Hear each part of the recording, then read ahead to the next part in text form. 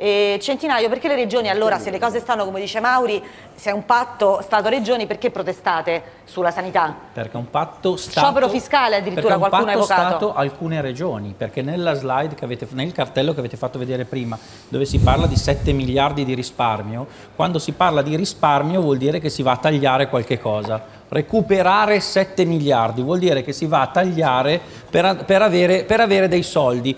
L'italiano, l'italiano, penso che non sia ancora un'opinione e di conseguenza nel momento in cui tagliano tutti questi, soldi, tutti questi soldi alla sanità la domanda è ma i servizi ai cittadini che cosa rimane? E questo, quello, e questo è il problema che stanno portando avanti i, i, i, i gli assessori delle regioni, di alcune regioni del nord, non di tutte.